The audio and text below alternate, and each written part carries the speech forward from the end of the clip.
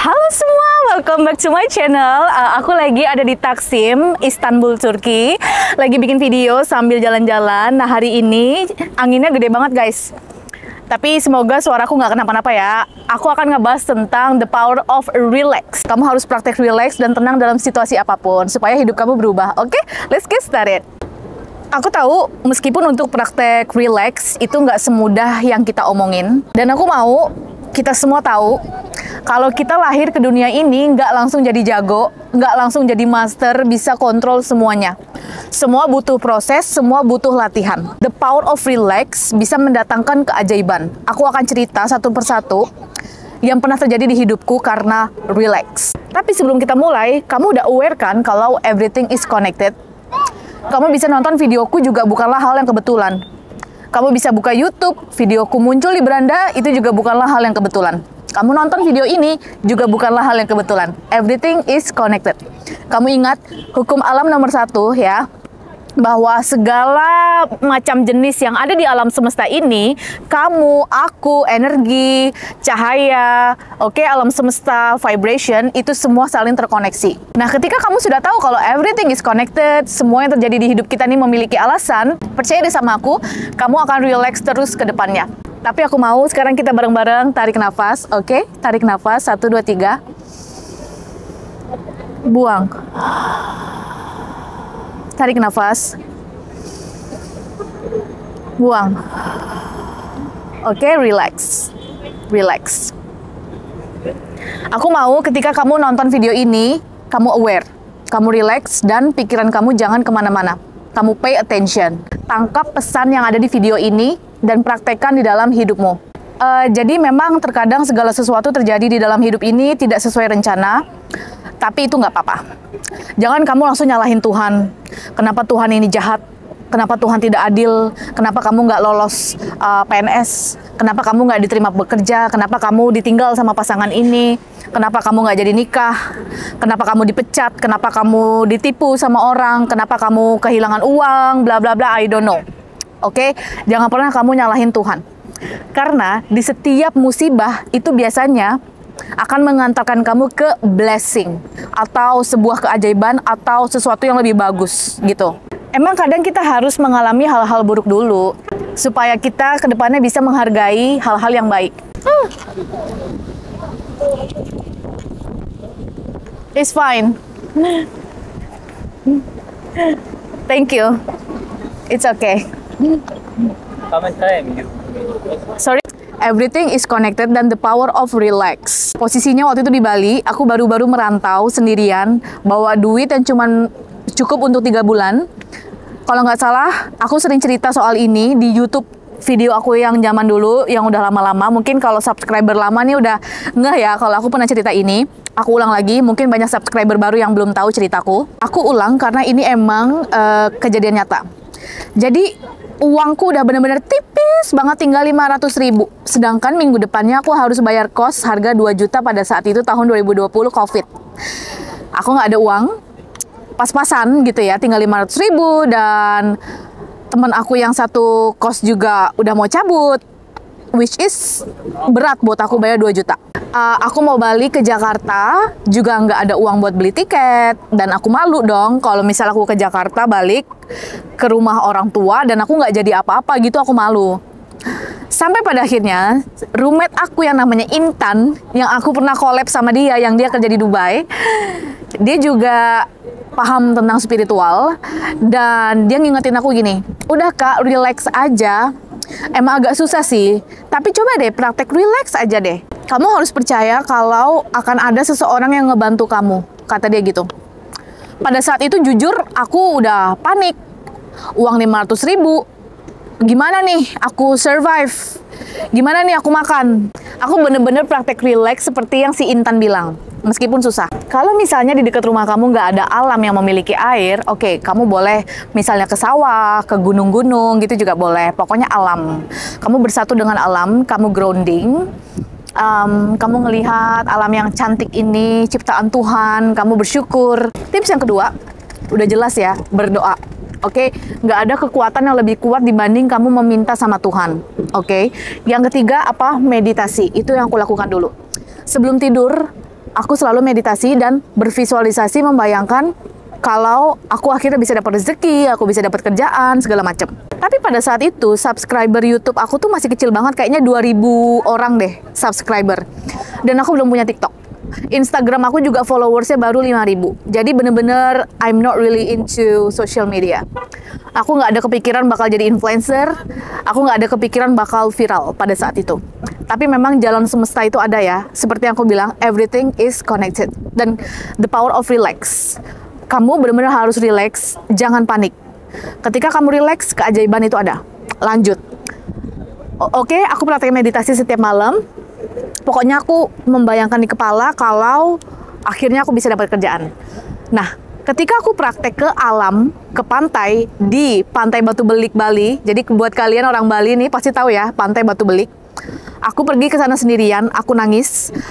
Bener-bener aku nangis. Jujur aku panik aku malu kalau harus pergi ke Jakarta tanpa membawa kesuksesan. Aku malu pergi ke Jakarta, Bali ke orang tua yang ternyata aku di Bali gagal, misalnya gitu. Tapi ternyata alhamdulillah aku nggak gagal karena si keajaiban ini.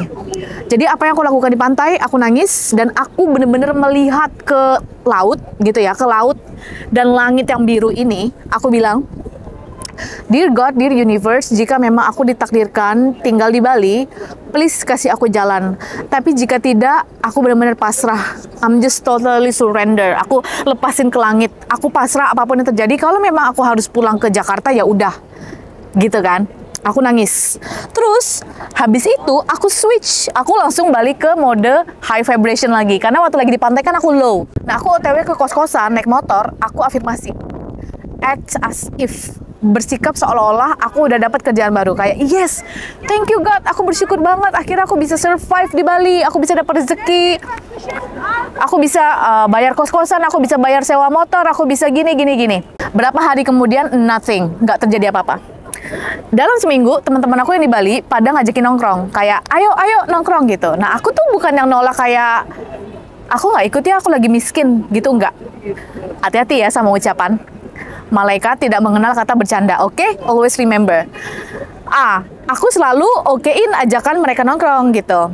Tapi pas lagi nongkrong, aku cuma pesen es teh. Ah, oke selama seminggu itu aku bener-bener take action. Aku ngelamar kerjaan, aku perbarui CV, portfolio, pokoknya aku usaha cari kerja. Sampai pada akhirnya aku iseng-iseng bikin TikTok. Jadi aku cerita dulu ya guys di sini kalau the power of relax itu bisa mendatangkan keajaiban. Pada saat itu aku benar-benar nggak panik. Aku tahu kalau something amazing is coming. Posisinya aku baru ditolak kerjaan sama orang Netherlands yang nawarin aku gaji 6 juta per bulan. Aku ditolak. Dan pada saat itu aku lagi butuh banget duit. 6 juta per bulan tuh menurut aku kecil gitu ya dibanding pekerjaanku yang sebelumnya di Jakarta tuh gajinya dua digit ya kan. Tapi ya udahlah namanya kita butuh uang aku berharap di, diterima sama si pekerjaan Netherlands itu, tapi ternyata ditolak. Aku nggak ya nyalahin Tuhan, kayak kenapa sih Tuhan nih uh, jahat sama aku, aduh gimana ya, lala, cari kerjaan susah gitu, nggak. Aku yakin kenapa ditolak sama pekerjaan yang ini karena ada yang lebih bagus di depan dan aku percaya, oke? Okay? Seminggu kemudian aku buka TikTok, aku bikin account, aku bikin video baru tentang Loa. Dan ternyata itu viral, FYP banyak yang nonton. Terus aku kayak, apa aku lanjut terus ya? Oke, aku lanjut terus, aku lanjut terus FYP viral, viral, viral, banyak yang komen, banyak yang pengen konsultasi privat. Pada saat itu aku cuekin karena memang niat awalku mencari uang bukan dengan cara sebagai influencer, tidak ada. Jadi, oh iya buat teman-teman yang belum tahu nih, aku tuh pergi ke Bali awalnya ingin bisnis ekspor impor gitu. Oke, baju-baju, tas-tas Bali yang unik-unik untuk dikirim ke luar negeri. Nah jadi pada saat itu karena uangku terbatas, nggak punya uang untuk uh, marketing gitu ya kayak endorse influencer. Jadi bisnis ekspor imporku tuh stuck di situ-situ aja. That's why aku cari kerjaan lain sama bule. Oke lanjut. Nah, akhirnya aku bikin video, terus banyak orang yang mau privat konsultasi. Nah, pada saat itu aku punya pacar di Bali. Orang bule ya, tapi cuma bentar. Nah, karena everything is connected. Nih nih ya, bentar aku ceritain ke kamu ini seru sih. Jadi, si cowok bule ini sebut aja namanya um, Alex dah ya gitu. nah, si Alex ini nyamperin aku di cafe lagi laptopan. Posisinya waktu itu laptop aku Asus yang udah kayak empat tahun nggak ganti gitu kan, udah lemot banget. Nah aku lagi laptopan, aku lagi ngelamar-ngelamar kerja dan si Alex ini nyamperin aku. Dia bilang, eh enggak enggak, aku cerita nih sama dia. Jadi gini, eh kamu tau gak sih, aku lah udah dapat 50 ribu followers di TikTok pada saat itu kan. Video aku semuanya viral. Oh my god, dan kamu lihat deh, aku tunjukin kan komen-komennya nih. Tuh lihat tuh DM-DM-nya banyak banget yang mau privat konsultasi sama aku gitu. Terus kata dia gini, kenapa kamu nggak iseng aja buka formulir pendaftaran buat mereka yang mau konsultasi sama kamu, bayar aja kecil-kecilan gitu. Terus aku bilang, gitu ya? Iya juga sih. Terus kata dia gini, iya ngapain kamu sekarang masih buka laptop nih ngelamar-ngelamar kerja nih? Kadang rezeki di depan mata itu kita nggak ngeliat gitu loh kata dia. Kamu nggak sadar kalau ini sebenarnya rezeki dari Tuhan gitu loh. Terus aku kayak, iya juga ya. Apa aku iseng-iseng buka formulir pendaftaran gitu buat privat konsul. Lah. Itu posisinya tahun 2021 akhirnya aku iseng-iseng guys buka pendaftaran privat konsul. Oh my god dalam tiga hari atau empat hari aku lupa yang daftar 200 orang. What? Dan dalam sehari aku bisa melayani tujuh klien yang capek tapi awal-awal seru gitu kayak ngedengerin cerita orang terus ada juga yang nanya-nanya soal loa gimana cara manifest gitu kan terus dating tips karena pada saat itu 2021 aku udah ngajarin tentang feminine energy yang mana di Indonesia juga pada saat itu belum ada yang ngebahas tentang law of polarity atau feminine energy Oke, aku buka 200 orang, aku dapat tuh ya kan. Terus di situ aku langsung kayak oh my god, the power of relax. Yang tadinya aku ditolak wawancara kerja sama orang Netherlands yang nawarin aku gaji 6 juta per bulan. Ternyata aku akan dapat dari si privat konsultasi ini 6 juta per minggu. Terus aku kayak rezeki tuh bisa datang dari mana aja kalau kita tuh relax gitu loh. Kita nggak yang aduh aduh gimana nih kayak panik. Aduh gimana nih minggu depan udah jatuh tempo aku nggak bisa bayar gini. Relax, relax dan percaya kalau bantuan itu akan datang dari cara yang kita nggak pernah pikirkan pakai logika. Nah, kadang-kadang makanya aku kesel nih kalau ngelihat ada konten creator baru ya, coach-coach dadakan loa yang ngajarin orang tuh bilang gini, Ya kalau kamu mau manifest uang harus realistis. Ya, nggak usah berharap aneh-aneh, realistis aja. Kalau gaji kamu 3 juta ya nggak mungkin kamu bisa beli mobil di tahun ini. Di situ aku langsung kayak, ini orang nggak praktek loa nih. Dia bukan praktisi. Karena orang yang beneran praktisi, itu nggak mengenal kata logika, itu nggak mengenal kata realistis, oke? Okay? Keajaiban datang dari cara yang nggak bisa dipikir pakai akal logika. Jadi kamu bisa paham, bisa ngebedain mana coach abal-abal yang zaman sekarang cuma mau uh, nyari duit doang, sama nyari followers itu bisa dibilang kalau mereka ngajarin sesuatu yang kelihatan deh pokoknya aku nggak bisa ngejelasin secara detail tapi kelihatan kalau dia bukan praktisi kalau dia tidak praktek begitu. Oke lanjut. Jadi the power of relax oke? Posisinya pada saat itu covid aku punya geng di Bali itu enam orang oke? Nah empat orang ini udah covid udah sakit. Sedangkan kemarin aku habis nongkrong sama semuanya dan kita minum di gelas yang sama oke? Empat orang di grup pada bilang, guys, aku positif COVID, aku positif gitu. Nah, tinggal aku berdua nih di antara enam ini nih, tinggal aku ya, sama temanku satu. Aku deg-degan dong, mampus gimana nih ya kalau aku COVID, aku udah takut banget nih, udah kayak mikir yang enggak-enggak. Tapi aku langsung aware kalau itu negative thinking. Aku langsung set, sadar kalau enggak. I'm powerful, I'm healthy, there is nothing to worry about. Jadi kayak langsung aku switch menjadi afirmasi positif. Enggak kok, hari ini aku akan ke klinik dan hasilnya bagus. Negatif, nggak ada yang perlu dikhawatirkan. Nah, kalau kita ngomongin soal kesehatan, guys, sebenarnya banyak sih. Aku udah praktek the power of relax untuk uh, tes kesehatan. Tapi ini salah satunya ya. Kalau diceritain semua kayaknya terlalu banyak gitu. Aku OTW nih dari kos ke rumah sakit buat tes COVID ya. Kalian bayangin ya. Satu geng semua COVID aku di perjalanan afirmasi kalau hasilnya bagus, negatif, nggak ada yang perlu dikhawatirkan, I'm healthy, there is nothing to worry about. Terus aku juga sambil kayak solawat, sallallahu ala Muhammad, sallallahu ala Muhammad. Ah, secara ajaib tiba-tiba hasil COVID-nya negatif kok bisa? Kok bisa? Gitu loh. Satu geng semua positif dan aku sendiri yang negatif sama temanku ini satu.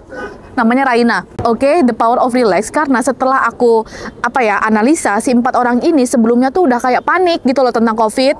Mereka nih empat orang udah ngeburu-buruin aku kayak ayo vaksin ayo vaksin. Kalau enggak nanti begini begini gitu. Sampai mereka tuh udah heboh banget nyari klinik buat tempat vaksin. Sedangkan aku tuh kayak masih relax aja relax. Nanti aja deh dulu. Eh ternyata malah empat orang ini. Karena mereka parno jadi malah kena covid beneran. Lah aku yang relax malah negatif.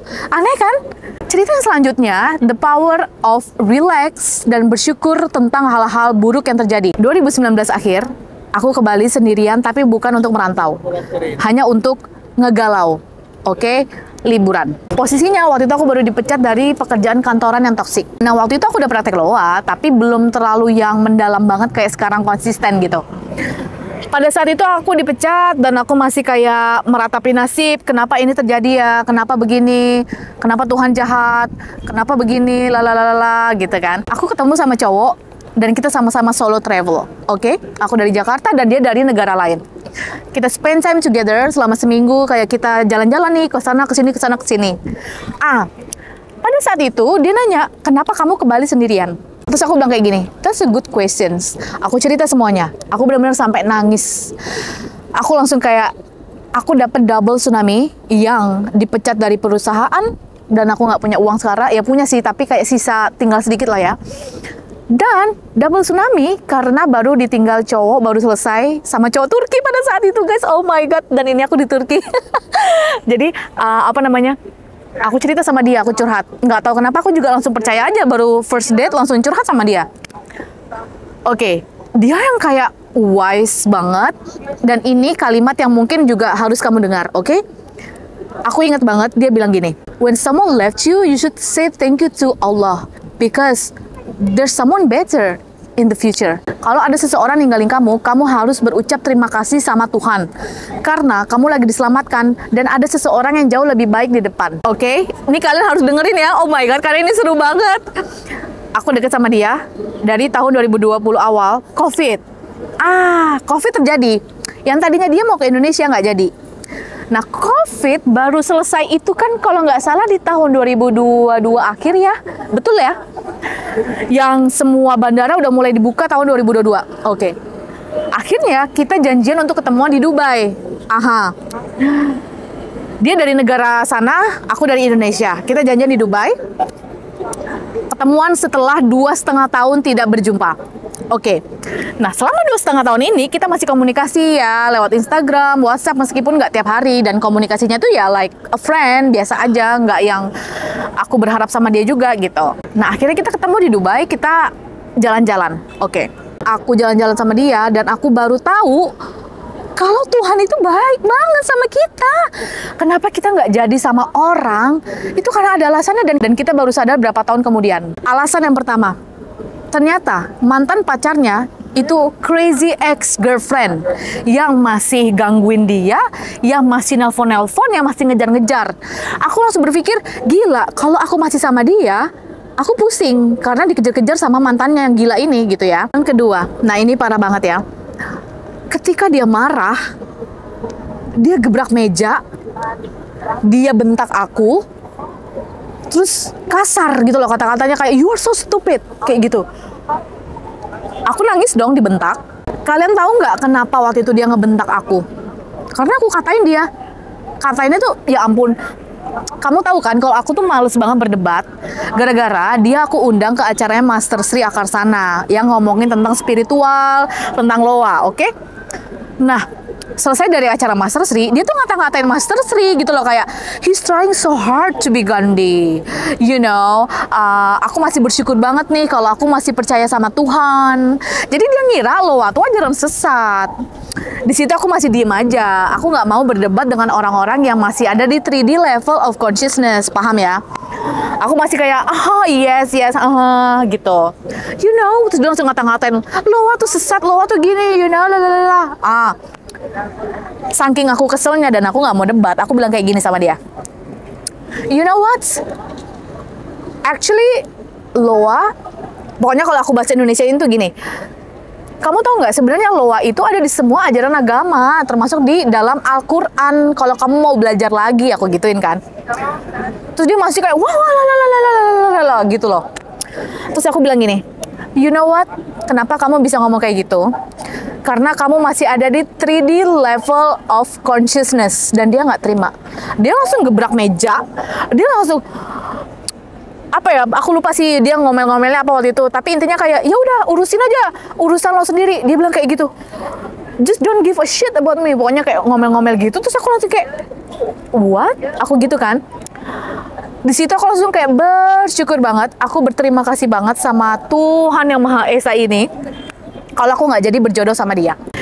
Karena sebenarnya dari tahun 2020 aku tuh kayak udah manifest dia setiap hari.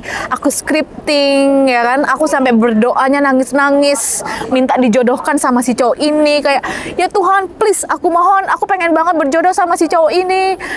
Oh, he is my soulmate connection. Dia orangnya wise, dewasa ya. Memang pada saat itu dia dewasa banget sih dan dia yang menolong aku dalam posisi depresi gitu ya sampai aku sekarang udah bisa jadi seperti ini tuh dia saksinya gitu. Tiga tahun kemudian aku langsung bersyukur aku nggak jadi jodoh sama dia gitu loh.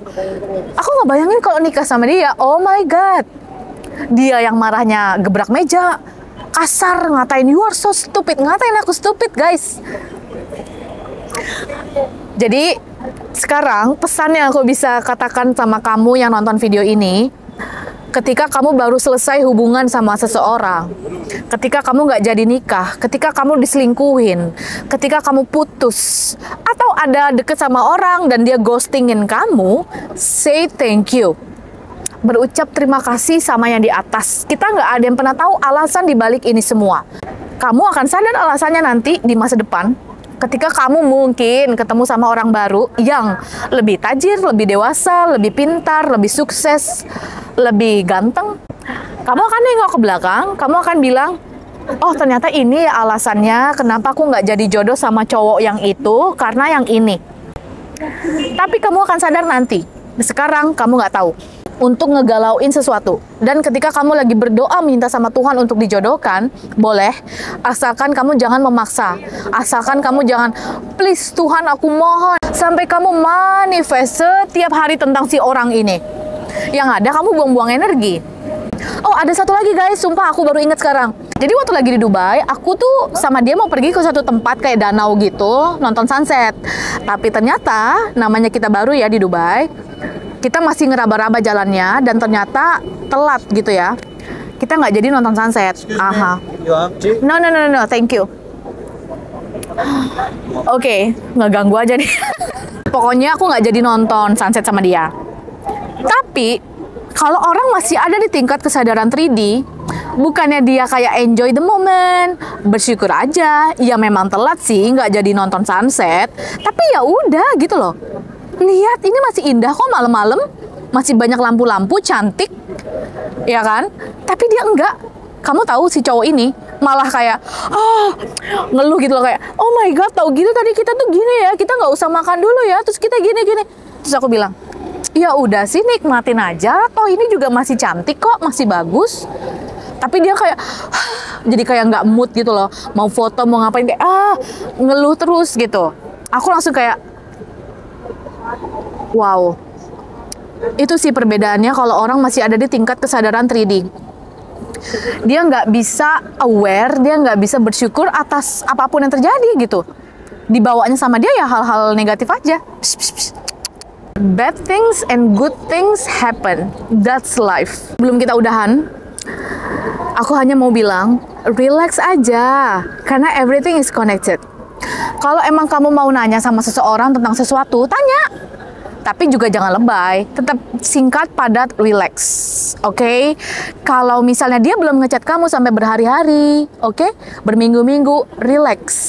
Jangan panik, kamu tetap afirmasi, tetap praktek law of assumption. No, he love me so much. Dia juga bakal hubungin aku kok. Aku satu-satunya orang yang dia suka. Aku satu-satunya orang yang um, dia cocok gitu. Nggak ada orang lain seperti aku. Jadi kamu langsung praktek asumsi, asumsi, asumsi yang bagus-bagus, afirmasi, afirmasi, afirmasi. You have the power. Kamu punya power untuk kontrol itu semua di dalam kepala. Kalau mulai overthinking, kamu harus aware, kamu harus sadar kalau ketika kamu mikir negatif terus berulang-ulang kali setiap hari, itulah yang akan terjadi. Sebelum pikiran negatif itu berkembang di kepala kamu, jangan dikasih makan. Langsung kamu kayak stop. Enggak kok, semuanya baik-baik aja. Gitu, oke? Okay? Thank you so much for watching. See you in my next video. Bye-bye.